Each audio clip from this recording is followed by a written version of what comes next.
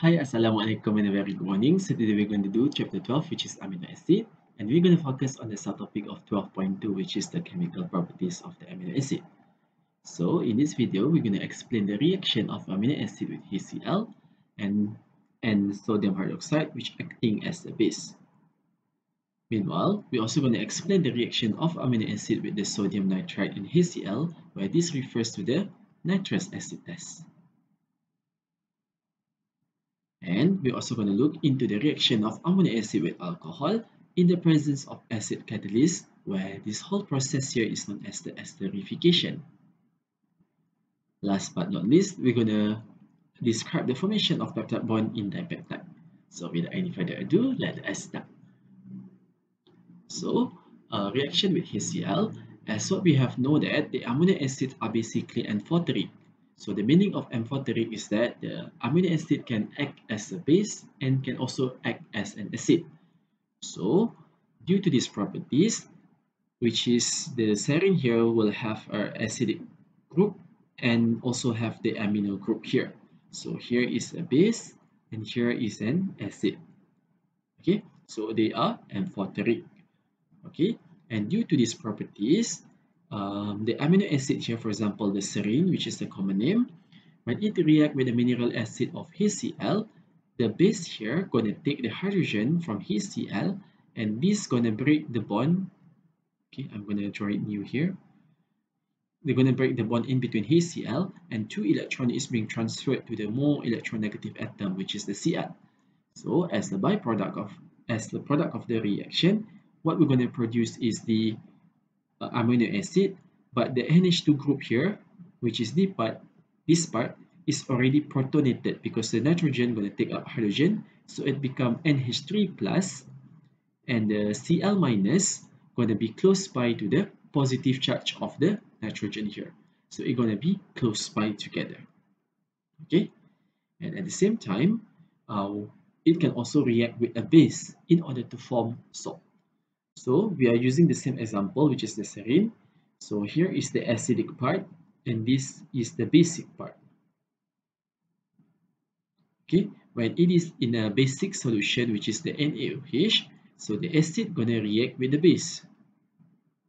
Okay, so as you know that the base contain sodium hydroxide ions, so these ions here will take up the hydrogen, and the OH bond gonna be broken and two electron is being transferred into the oxygen and hence this causes the oxygen to get the negative charge. So as the byproduct of the as the product of the reaction you will get CO minus because of the hydrogen because the OH already taken the hydrogen and the Na plus here going to be close by to the negative charge okay and the OH attached with hydrogen going to form a byproduct of water. Okay. Now we're going to look into the reaction with the nitrous acid test, which we're going to use the sodium nitrite in HCl.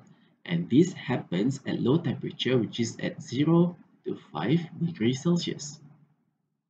So, as you know that, the amino acid will contain the aliphatic primary amine group. So the reaction is similar to the one that we have learned in the primary amine, which is in the chapter 11, where the primary amine gonna react with the nitrous acid. So let's say if we have an, a structure here, which is a structure of alanine. So this is the common name. And let's say if you want to write the IUPAC name for this structure, it's gonna be number one, number two, and number three here. So the carboxylic acid going to be the priority. So it's going to be a propanoic acid. Okay. And at carbon number 2, it's going to be having a amino group. So the IUPAC name going to be 2-amino propanoic acid. Okay. So maybe in the question, they will give you the common name as well as the IUPAC name. So you have to write it. Uh, you have to be able to redraw the structure from the uh, name given. Okay, so this is alanine. So when alanine react with the sodium nitrite in HCl at low temperature, what this going to produce is the HNO2 in situ. Okay, So the reaction of the amino group with the nitrous acid gonna produce a diazonium ion where the C and H2 here gonna become C and triple bond and it's gonna carry a positive charge. And the chloride ion which is coming from the HCl going to be close by to the positive charge. Okay? And as what you have learned in chapter 11 the diazonium ion going to be unstable. Okay? So when they are unstable what they're going to do is they're going to remove the n triple bond here and they're going to release it as the nitrogen gas.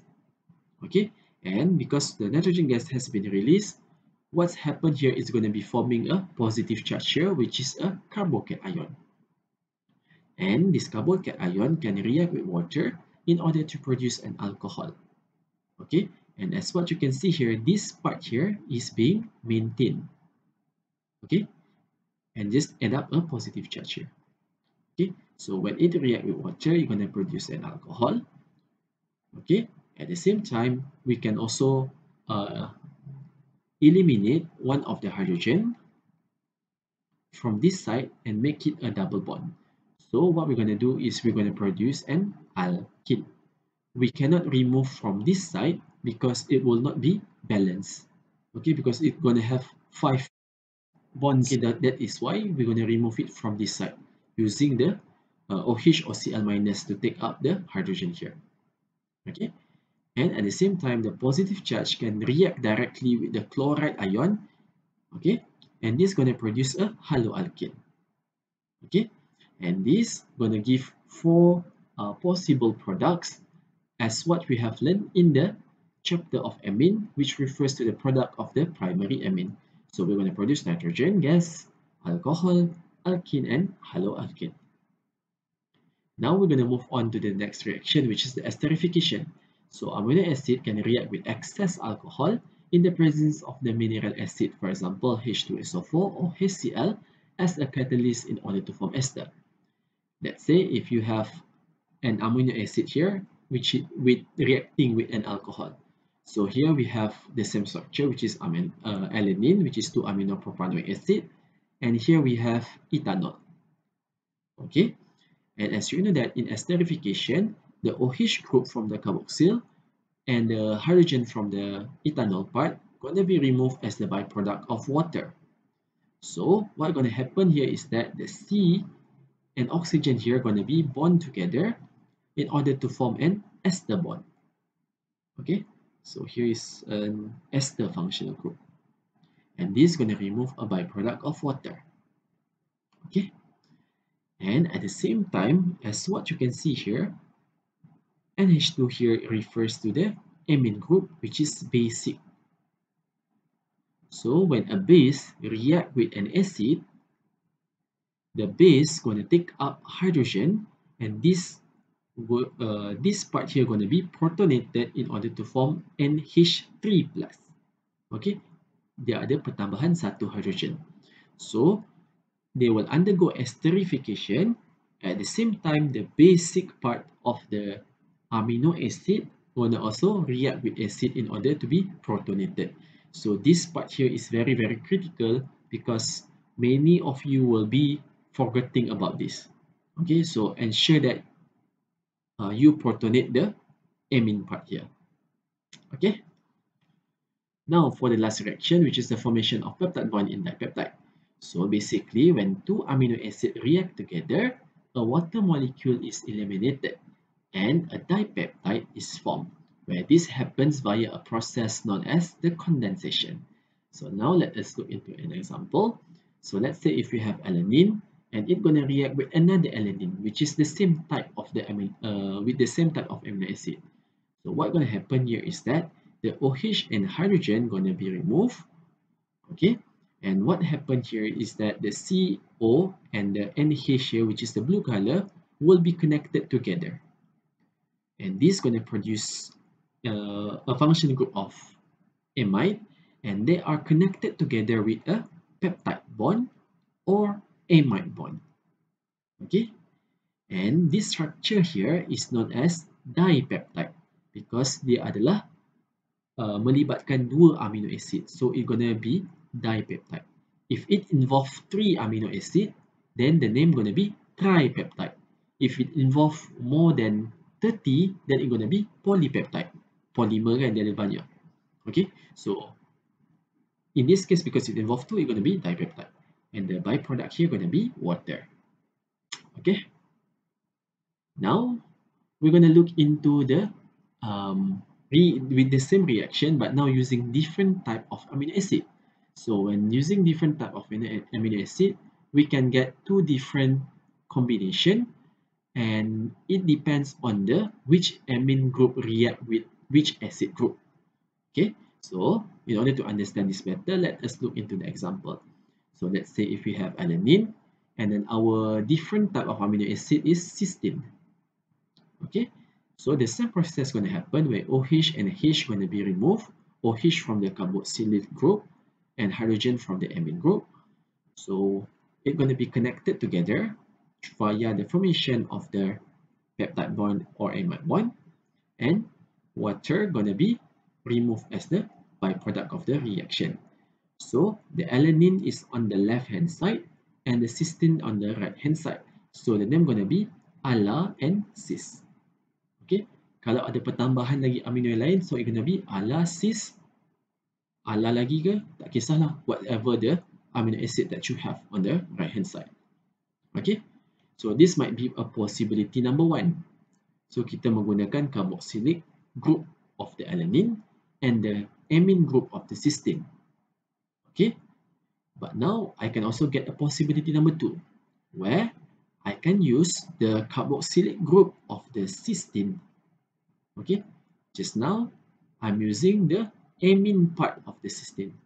Now I'm using the carboxylic group of the cysteine. And then I'm using the amine group of the alanine. So the same process is going to happen, which is OH and H going to be eliminated as water. And the C double bond O and H and H, the purple color here, going to be connected together and this connection is known as the peptide bond or the amide bond. And because of the Cys is now on the left hand side, so we're going to write it as Cys dash ala. Okay, and the byproduct here to be water. Okay, so I think that's all for today's video. See you again some other time. Bye.